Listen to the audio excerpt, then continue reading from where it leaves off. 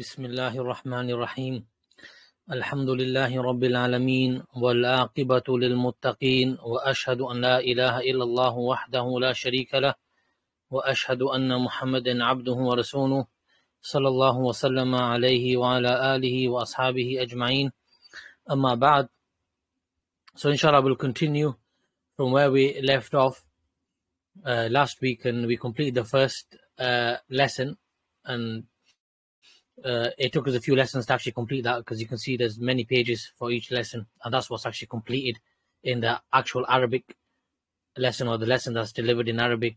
So inshallah we'll obviously go through as much as we can uh, in the space of roughly 30 to 45 minutes inshallah and progress like that until we finish the book inshallah. So we're on the second lesson now and uh, the Sheikh he begins the lesson and he says he says قال شيخ الإسلام محمد بن عبد الوهاب رحمه الله تعالى في رسالته نواقض الإسلام. قال في الناقض الأول الأول الشرك في عبادة الله تعالى. قال الله تعالى إن الله لا يغفر أن يشرك أن يشرك به ويغفر ما دون ذلك لمن يشاء. وقال إنه من يشرك بالله فقد حرم الله عليه الجنة ومأواه. ومأواه النار وما للظالمين من أنصار So then the Shaykh he starts off and he quotes the original author of this book that we are reading, the Waqidul Islam, the Nullifiers of Islam, and that's Shaykh al Islam Muhammad ibn Abdul Wahab. May Allah have mercy upon him. And the Shaykh he mentions that in the first nullifier, which was discussed in the first lesson as well, and he quotes the uh, author directly, he says, a shirk. So the first nullifier, a shirk, and uh, associating partners in worship with Allah subhanahu wa ta'ala. And then he brings two evidences from the Quran, the speech of Allah. And the first one is from Surah An-Nisa, verse 48. So if we go there and have a look at the meaning of the translation, uh, give me a second. So Surah Al-Baqarah, verse 48. Let's have a look. So basically, where Allah says, Indeed, verily Allah does not forgive uh, that uh, partners are associated him uh, associated with him in worship. However, He forgives other than that to who He wills. That's the meaning of the ayah. So basically, that Allah does not forgive that shirk be committed. Yeah, so that you associate partners in worship with Him. But for any other sin, he will he he can forgive it if he wants to. And then the next ayah that we read that's from Surah Al-Ma'idah, uh, Surah Al-Ma'idah, verse 72. So we can have a look at that as well. Verse 72. And the rough meaning of that is, Verily, whosoever sets up partners in worship with Allah, then Allah has forbidden paradise for him and the fire will be his abode. And for the Zalimun, polytheists, and wrongdoers, there are no helpers. So, from that, the Shaykh is made clear to us the the gravity and the brevity of, of shirk, committing shirk, and the conclusion of that. And it's the biggest crime that you can commit against Allah subhanahu wa ta'ala. And then the Shaykh he says, وَمِنْهُ الذَّبْحُ لِغَيْرِ اللَّهِ كَمَنْ يَذْبَحُ لِلْجِنِّ أَوْ لِلْقَبْرِ And just as extra benefit, the original author he mentions here, and from uh, and from the types of shirk are the examples that were given in the previous lesson, but also the Shaykh mentions here, for example, such as um, sacri- slaughtering for other than Allah subhanahu wa ta'ala. So slaughtering for other than Allah subhanahu wa ta'ala, slaughtering animals, for example, for other than Allah, like the one who uh, slaughters for a jinn or on or for a, a grave, yeah. As we're well aware of, this happens still. So the Sheikh he continues, he, he explains, he begins explaining the author's statement above. He says, مضى في لقاء الأمس الكلام على أهمية معرفة نواقض الإسلام من أجل اتقائها والحذر منها وتحذير الناس من أن يقعوا فيها صيانة للدين وحفظا للعقيدة وتحقيقا لما خلق العبد من أجله من توحيد لله عز وجل وإخلاص للدين له تبارك وتعالى ومضى أيضا أن الشيخ رحمه الله تعالى عد عشرة نواقض وعرفنا وعرفنا أن هذا ليس على سبيل الحصر وإنما هو بيان لأهم ما ينتقد به الإسلام وأن بقية النواقض في في في الجملة ترجع إلى هذه النواقض العشرة التي ذكرها رحمه الله تعالى. So then in this paragraph the Shaykh he says, and uh, and what transpired yesterday, and for us obviously that was the last few lessons that we've been going over in the last few weeks, uh, according to uh, our schedule. Then what transpired in the previous lessons and the previous speech are the importances or the importance of knowing the nullifiers of Islam, knowing those things that nullify our religion in order to why? In order that we can stay away from them we can avoid the pitfalls and in order that we can warn other people from falling into those mistakes. And and and also in that regard on the flip side we're preserving our religion and we're preserving our deen. And we are preserving our belief. And we are actualizing and carrying out in reality what Allah has intended for us, i.e., to worship Him alone upon Tawheed and not associate any partners in worship alongside Him. And you can see all the benefits of knowing this and what and the fruits of that. So then the Shaykh he continues. He says, with with with pureness and sincerity for the Deen. And the Shaykh says also that which has transpired is that the Shaykh, may Allah have mercy upon him, the original author, he gave us a number of these nullifiers. He gave us a number of nullifiers. And he says that we know that this, and we know that this is not, that there's only like 10. For example, if 10, the Shaykh has mentioned 10, it doesn't mean that there are 10. But the Sheikh has mentioned the most gravest of nullifiers of the Deen of Islam. He's mentioned the most important ones that we need to know because most of the people fall into these easily. But there are many more. And we'll see the Sheikh will mention this inshallah later on in the lesson. So the Sheikh he goes on to say, he says, indeed, this is a clarification of the most important of those nullifiers of our Islam. And that the rest of the nullifiers in general, they all return to these 10 nullifiers. So that's good because if we know these 10 nullifiers clearly with evidences, then we, we will see that the other nullifiers always return to these 10. So these are the head. So these 10 nullifiers are the head of the nullifiers of Islam. So let's carry on what the Sheikh says. Let's see what the Sheikh says. So then the Sheikh, he mentions, Hafidullah, says, وَبَدَأَ رَحْمَهُ اللَّهِ بالناقض الأول من نواقض الإسلام وهو الشرك بالله لأن الشرك أعظم الموبقات وأكبر الكبائر وأعظم المحرمات So then the Shaykh he says, and the original author, author, may Allah have mercy upon him, he began with the first nullifier of Islam, and that is shirk, as as mentioned last week as well. And why? Because as we know, shirk is the gravest and the most grave and most dangerous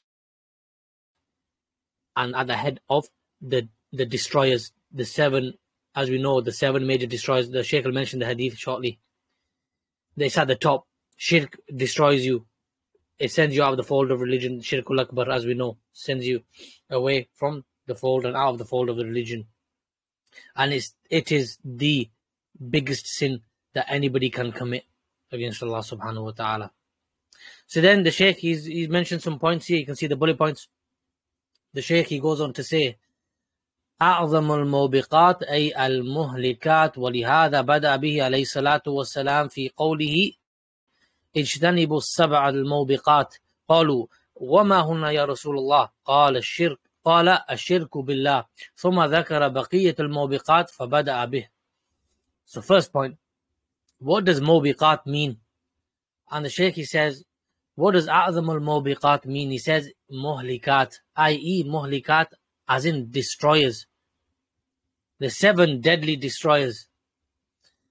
And the Shaykh says this is the reason why the Prophet sallallahu alaihi wasallam in his speech in the Sahih Hadith mentioned, stay away, avoid the seven destroyers.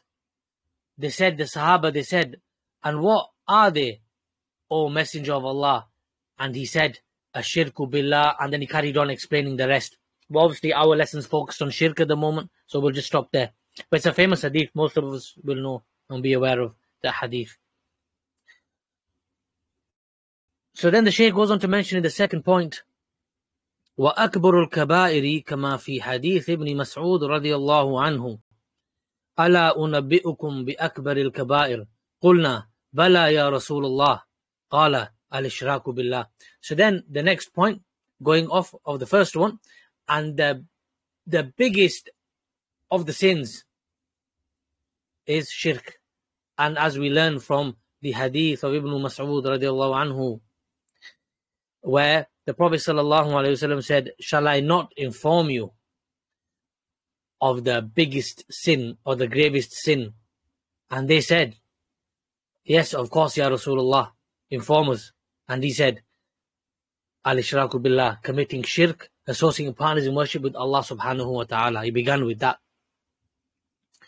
So then we go on and go on where the Shaykh he says, وَأَعْظَمُ الْمُحَرَّمَاتِ كَمَا فِي آيَةِ الْمُحَرَّمَاتِ آيَةَ النَّوَاهِي قل تعالوا أتل ما حرم ربكم عليكم أن لا تشركوا به شيئا فبدأ بالإشراك بالله and also from the greatest of the muharramat as we see in the ayah uh, in the uh, the verses of muhar- uh, muharramat of uh, or those things are forbidden is in this ayah of the nawahi this ayah of uh, nawahi here where uh, the sheikh quotes from the quran from Surah Al-An'am, verse 151, say, you know, to the Christians, to the people of the book, say, come and let me recite, uh, let me recite what your Lord has forbidden for you. And then the first thing that's mentioned in terms of those things are forbidden is, and do not associate partners with Allah in worship. Allah tushriku bihi shay'a. Don't associate any partners with your Lord. And then it goes on, as is a long ayah, as, as you guys are aware of inshallah.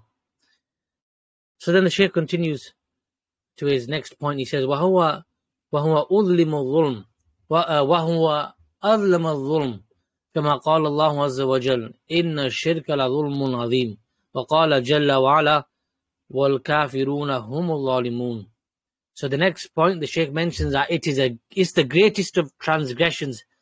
It's the greatest of oppressions. As Allah Jalla wa'ala said in Surah Al-Luqman, verse uh, 13, in verily shirk is a great oppression, is a great oppression. Uh, and also in the other uh, in in the ayah of Surah Al-Baqarah, uh, part of the ayah 254, where it is said, and the disbelievers they are the zalimun, the transgressors the oppressors, the transgressors, the ones who commit polytheism. Yep. so then the Shaykh, he continues and he says, وهو, وهو الذنب الذي لا يغفر كما قال الله سبحانه وتعالى إن الله لا لا يغفر أن يشرك به. And we read the ayah earlier, so the Shaykh's breaking it down for us even further. He says, and it is the sin it is a sin that is not forgiven. As Allah subhanahu wa ta'ala said, Verily Allah does not forgive that you commit shirk with Him, that you associate partners in worship with Him. And he goes on to say, وَهُوَ الذنب الذي حرم الله سبحانه وتعالى على صاحبه دخول الجنة وقضى أن يكون في النار مخلدا فيها أبد الآباد إنه من يشرك بالله فقد حرم الله عليه الجنة ومأواه النار وما للظالمين من أنصار And that's the ayah that we read earlier as well. And the Shaykh mentions that the, the sin, whoever commits a sin and dies upon it, i.e., shirk, the greater shirk, then he will, then uh, Jannah, paradise, is made haram for him, and he will be in the fire, the hellfire, for eternity, for the rest of eternity.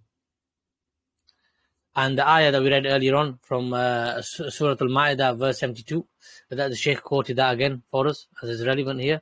So the Shaykh goes on to say, وَهَذَا ذَنْبُ الْعَظِيمُ وَالْجُرْمُ الْوَخِيمُ مصادم مصادم تمام المصادمة ومناف تمام المنافات لما خلق العبد من أجله ووجد لتحقيقه وهو عبادة الله قال الله عز وجل وَمَا خَلَقْتُ الْجِنَّ وَالْإِنسَ إِلَّا لِيَعْبُدُونَ So then the Shaykh he goes on to say that this crime, this great crime and great sin, and he goes on to say, I shirk, it negates, it negates the very purpose, it negates the very purpose that the mankind and jinn were created for. And what is that? As the Sheikh mentioned earlier on in the, at, the, at the start of the lesson, he said to actualize the worship of Allah and the actualized Tawheed, as in worshipping Allah subhanahu wa ta'ala alone and not associate, associating any partners with Him.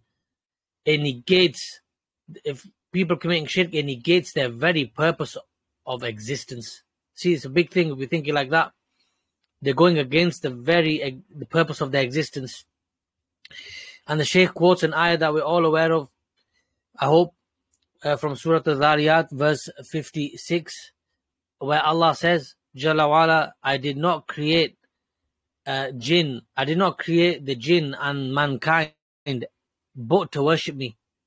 And that confirms what the Shaykh has mentioned as evidence. وقال تعالى وما أمروا إلا ليعبدوا الله مخلصين له الدين وقال جل وعلا ألا لله الدين الخالص ألا لله الدين الخالص So the Shaykh he goes on to mention a few more uh, evidences here, of which one of them was mentioned last week, Surah Al-Bayna verse 5. And if you remember, Surah Al-Bayna verse 5, and they were commanded not but that they should worship Allah and worship none but Him alone, abstaining from ascribing partners to Him and perform a salat, ikamat salat and give zakat, and that is the right religion. So that's the whole ayah. And then the other ayah from Surah Al-Zumar, verse 2. Surah Al-Zumar, verse 3, sorry. And it's right at the start of this ayah. Surely the religion, i.e., the worship and the obedience is for Allah only. Clear. That's clear as day.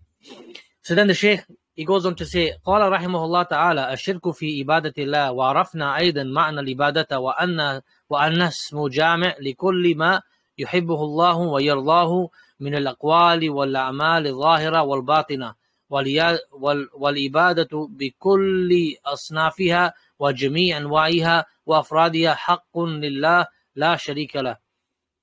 فمن صرف فمن صرف شيئا من العبادة لغيره كائنا من كان فقد فقد أشرك بالله العظيم واتخذ مع الله سبحانه وتعالى الأنداد والشركاء. وقد قال الله عز وجل فلا تجعلوا لله أندادا وأنتم تعلمون.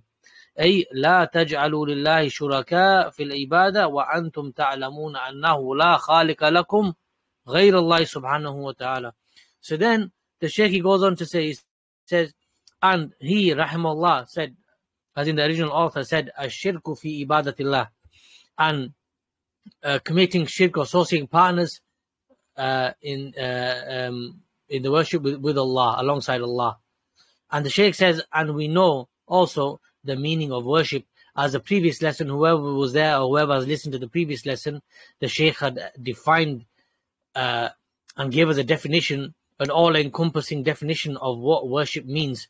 And he reminds us here, he says, and that it is an, an all encompassing term, an all encompassing uh, term where whatever you do from your speech, your actions, whether they are hidden inside or they are outward and apparent, that if Allah is pleased with it, then it counts as worship.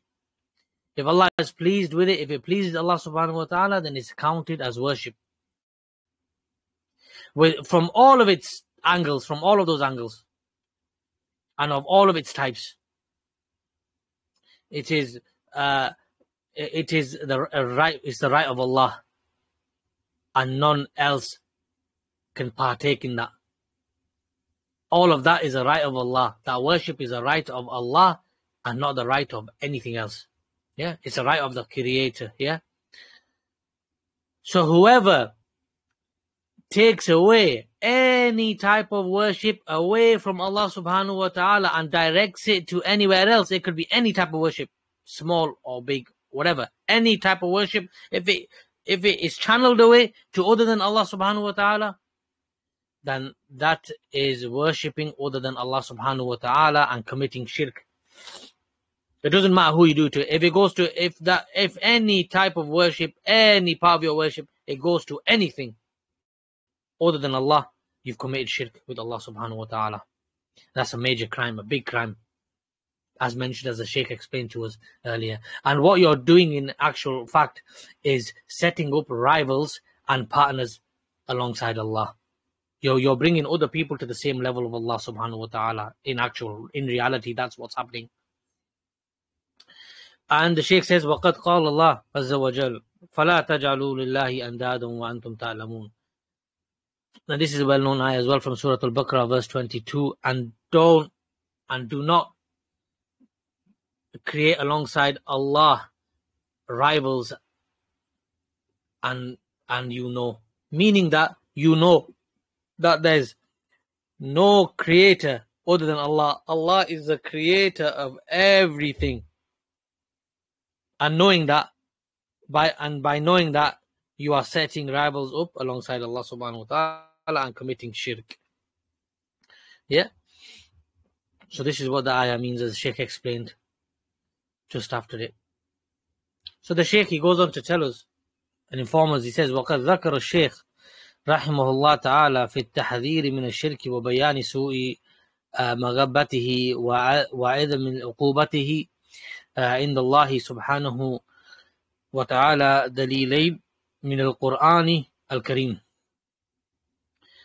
So the Sheikh says here, he says, as the original author, may Allah have mercy upon him, has warned us about shirk and clarified it to us and clarified its uh, its um, how would you put illogical. And he's clarified to it, it he's clarified this to us that it is illogical with regards to the evidences that we've looked at. That you associate partners with Allah in worship knowing knowing that Allah is the sole and only creator of everything yeah? And the sheikh says there's two evidences from the Quran from the noble Quran that he's going to mention with regards to this. He says al-awwalu قول الله سبحانه وتعالى في موضعين من سورة النساء إن الله لا يغفر أن يشرك به الثاني قول الله عز وجل إنه من يشرك بالله فقد حرم الله عليه الجنة ومأواه النار وما للظالمين من أنصار So the first of the evidences the Shaykh he brings to us, he says, the speech of Allah subhanahu wa ta'ala uh, in two parts of, or in two places in Surah An-Nisa, where this ayah, this is mentioned. Inna Allah la yaghfiru an yushraka bih. And mentioned earlier, same ayah mentioned earlier. Verily Allah does not forgive that you set up partners alongside Him in worship. Yeah, shirk. And second, the second uh, uh, evidence, where Allah Azza wa Jalla says, إنه من يشرك من يشرك بالله فقد حرم الله عليه الجنة ومأواه ومأواه النار وما للظالمين من أنصار and that was mentioned earlier on as well that's Surah Al-Ma'idah verse 72 so if you need to refer back to it please refer back to it please so we'll carry on the Shaykh goes on to say اقتصر رحمه الله على ذكر هذين الدليلين لأن لأن هذه الرسالة مختصرة في بيان النواقض وليس وليس الموضع فيها موضع موضع بسط آه، بسط وتفصيل موضع بسط وتفصيل. وإلا فإن الآيات التي في القرآن التي ذكر فيها الشرك وبينت عقوبات آه، وبينت عقوباته وحذر منه وبين سوء مال سوء مآل أهله في دنياهم وأخراهم كثيرة تتجاوز المئة والخمسين آية آية في كتاب الله تبارك وتعالى So the Shaykh he mentions gives some benefits. He says that the original author, may Allah have mercy upon him, he just uh, mentioned these two evidences only for the reason of clarifying um, this um, nullifier. And it isn't uh, from the point of view that if he's only mentioned these two, it's because these are the only two evidences that exist for what we're talking about today. No, it was just to clarify to us that here's a couple of evidences. That's enough for us from the Quran. And we've had evidences from the Sunnah. That suffices. However, the Sheikh says that there are more than 150 ayat of the Quran, verses of the Quran, where this particular topic is being discussed about shirk. And so the Sheikh has only given us two just so we can understand it, have understanding of it, and then move on to the next point. Yeah. So the Sheikh continues, he says, والآية الأولى الأولى التي ذكر المصنف رحمه الله تعالى وهي قول الله عز وجل إن الله لا يغفر أن يشرك به ويغفر ما دون ذلك لمن يشاء فيها أعظم تحذير وأشد زجر ونهي عن الشرك بالله لأن الله عز وجل توعد في هذه الآية المشرك به الذي به الذي مات على الشرك بالله أنه لا لا لا يغفر له وأن المشرك الذي يلقى يلقى الله يوم يلقى الله يوم يوم القيامة مشركا لا مطمع له يوم القيامة في مغفرة الله. ولا سبيل له إلى نيل رحمة الله سبحانه وتعالى لأن الله عز وجل حرم رحمته ومغفرته على الكافرين. وهذا توعد مقيد في هذه الآية بالإشراك به. خصص هذا هذا الذنب وقيد المغفرة. قال إن الله لا, لا يغفر أن يشرك به. خص هناك الشرك من بين الذنوب. قال إن الله لا يغفر أن يشرك به. يذكر يذكر مع الشرك الذنوب الأخرى. So let's just stop there for a second while I translate inshallah and then we'll carry on so there isn't too much of a delay between the Arabic and the translation. So the Shaykh he goes on to explain. So the first evidence the first ayah that was the first evidence given to us. And the author may Allah have mercy upon him mentioned he said he mentioned the speech of Allah. Verily Allah does not forgive that you set up rivals and partners alongside him in worship. However, he forgives to who he wills other than that. And so the Shaykh he continues, he says, This is the greatest warning and the sternest warning and uh, and us being you know being made that this action is being for, made forbidden i.e shirk with Allah subhanahu wa ta'ala. This is the greatest example that from this ayah when we read it and we understand it, that shirk is the greatest thing that Allah has forbidden us from. And it's the greatest warning that Allah has given us with regard to shirk. Yeah. And so the Shaykh he says that Allah has warned us and threatened us that has threatened the mushrik, the one who commits shirk with Allah subhanahu wa ta'ala in worship, that if he dies upon the state of shirk, polytheism with Allah subhanahu wa ta'ala, then he will not be forgiven. He will not be forgiven. And that this polytheist, when he meets Allah subhanahu wa ta'ala on the on the day of judgment, on the day of reckoning, as a as a polytheist, he will not taste on the day of judgment Allah's mercy. or Allah's forgiveness. And there is no way for him to obtain Allah's mercy on that day. Because Allah Azza has made it, has made his, um, has forbade or made his mercy haram and his uh, forgiveness haram upon the disbelievers. And this is a threat that is spec- specified and around this ayah with regards to shirk. It's been specified, this sin has been specified, i.e. shirk, and it's and this maghfirah, this um the uh, forgiveness, it's the person is blocked from that forgiveness if he dies in a state of polytheism. Yeah. And the Sheikh he goes on to say, he mentions the ayah again as we did in Arabic, and then he mentions, he says here that because he says the shirk here, uh, uh, with regards to the uh, sins that shirk is mentioned here, and uh, and as Allah mentioned, He does not forgive uh, uh, His creation committing uh, polytheism, yeah, and setting no partners and rivals alongside Him in worship. So then the Shaykh continues and he says, يذكر مع الشرك الذنوب الأخرى وإنما خص الشرك وحده بالذكر من بين سائر الذنوب قال إن الله لا يغفر أن يشرك به ويغفر ويغفر ما دون ذلك لمن يشاء.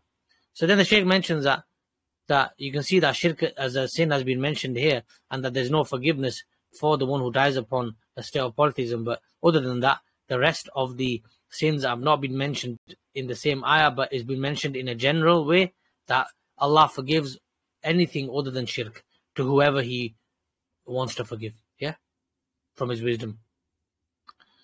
So then the Shaykh continues. He says, "لما خصص من الذنوب ذنب الشرك بأنه لا يغفر قيد في الآية المغفرة بمن يشاء بمن يشاء قال ويغفر دون, دون ذلك لمن يشاء As we mentioned, the Sheikh just mentioned what was mentioned earlier.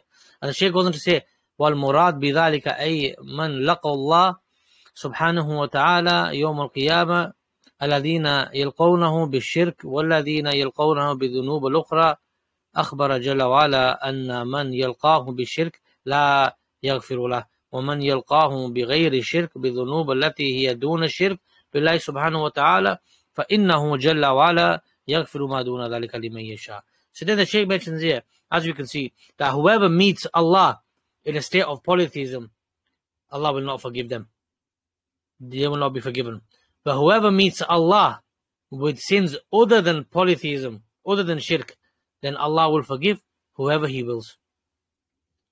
And the Shaykh goes on الأمر في هؤلاء الذين لقوا الله سبحانه وتعالى في ذنوب دون الشرك به تحت مشيئة الله إن شاء غفر وإن شاء عذب So then the Shaykh goes on to say and explain a bit further that those people that have not committed shirk but meet Allah on that day with sins, then Allah will either forgive them or He will punish them. Whatever Allah wills.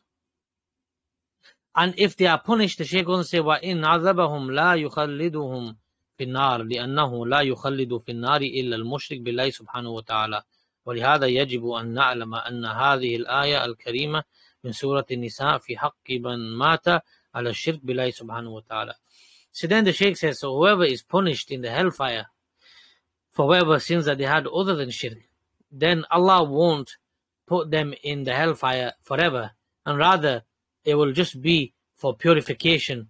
So depending on the sins that the person is being punished for, depending on their brevity, gravity, magnitude, for example, then uh, the greater the sins are and the greater sins are piled up and mounted up, then the longer it will take to purify.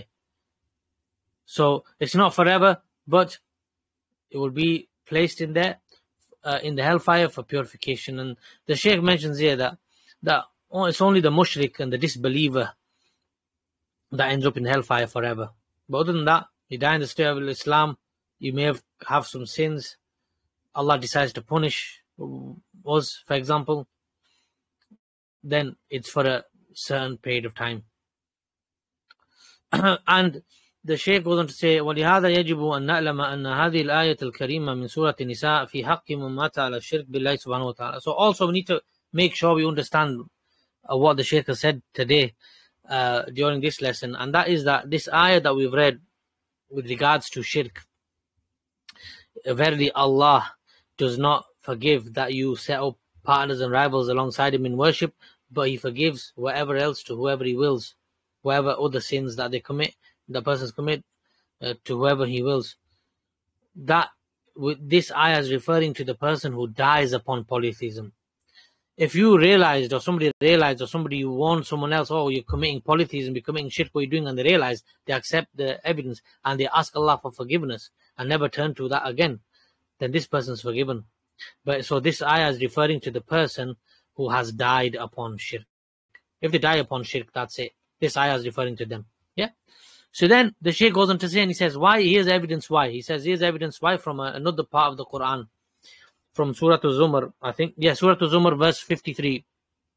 The Shaykh says, وَلِهَذَا لَيْسَ بَيْنَ هذه الآية الآية الكريمة وقول الله عز وجل في سورة الزمر قل يا عبادي قل يا عبادي الذين أسرفوا على أنفسهم لا تقنطوا من من رحمة الله إن الله يغفر الذنوب جميعا إنه هو الغفور الرحيم قوله جميعا يدخل في ذلك يدخل في ذلك الشرك بالله سبحانه وتعالى أو لا يدخل so the Shaykh he mentions this ayah and I'm sure we're aware of this ayah as well but let's go to the translation for Surah uh, Zumar verse 53 say O my slaves who have transgressed against themselves by committing evil deeds and sins despair not of the mercy of Allah Verily Allah forgives all sins. Truly He is oft forgiving, most merciful. So the Shaykh he says, now looking at this ayah now and comparing it with the other one that we were reading earlier on and the Shaykh was discussing and explaining to us. He says, does shirk come into this ayah that we just read now? Does shirk come into this ayah or does it not? And he says to us that it does because because Allah mentioned that Allah forgives all sins, every sin and it's it's generalized it's all sins and so the sheikh he explains here that the, the how do we understand these two ayahs and how do we differentiate between them? The first one as he mentioned is to do with the person who dies upon polytheism. And this the second ayah that we just read now on the translation of the meanings uh, of the ayah that that's referring to people who are still alive and still breathing and that if they realize what they're doing or somebody else warns them and guides them and brings them the evidences and they realize the wrongs that they are upon, as in polytheism, and they ask Allah for forgiveness, you know, a true forgiveness, and they ask for forgiveness, and Allah forgives them while they're alive, and that they don't turn back to it. Yeah? This is what the Shaykh explains in this paragraph. So the Shaykh, he goes on to say, داخل في قوله إن الله يغفر الذنوب جميعا أي بما فيها الإشراك بالله سبحانه وتعالى. He goes on to say, he says, what we mentioned earlier, and he says the answer to this is he goes on to say Al Jawab li anna ayat zumar fi haqqi antab. And what's the evidence? He says evidence that the ayah in Surah Al Zumar that we just read, it's it's in it's with regard to uh, uh, the person who has has asked for forgiveness, who has sought forgiveness. Yeah. And he says the ayah from Surah Al Nisa, the first one that we read, that's with regard to the person who has passed away, has died. Right? And then he goes on to say, من مات على الشرك ومات على الذنوب الذي يموت على الشرك لا يغفر له والذي يموت على المعاصي تحت مشيئة الله إن شاء عذبه وإن شاء غفره ليس المراد في ليس المراد في آية النساء من تاب لأن من تاب من الشرك أو من غيره تاب الله عليه بدون بدون أن يقيد الأمر بالمشيئة من تاب تاب الله عليه ولهذا لما ذكر في آية الزمر مقام التوبة إليه قال إن الله يغفر الذنوب جميعا So an extra benefit the Shaykh mentioned there, he says that how do we also understand this is that whoever seeks forgiveness, Allah forgives him. Whoever asks Allah for forgiveness, Allah forgives him. Right? But if somebody dies, their actions are cut off. Their actions are cut off and they can ask for forgiveness. So that makes that helps us to understand further that the first ayah from uh, was it from Surah to An-Nisa from Surah An-Nisa is to do with the person who's died.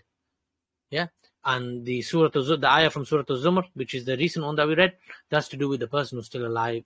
Yeah, who's still alive and who asks Allah forgiveness. Allah forgives whoever Allah whoever asks Allah forgiveness, He forgives them. And obviously, there's a I think in a previous book that we studied, there was conditions mentioned regarding um, uh, an honest uh, repentance. It's not like, oh, I'm going to do this sin, and then I'll ask Allah for forgiveness, and then I'll carry on doing it another day, and then I'll ask Him for forgiveness. No, it doesn't work like that.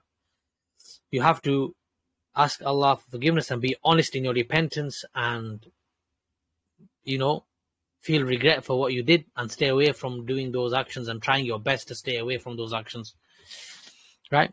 So then the Shaykh continues says, كلها بما فيها الشرك يغفر الذنوب جميعا وأطلق ولم يقيد كما جاء التقييد في آية النساء So that's just what's already mentioned.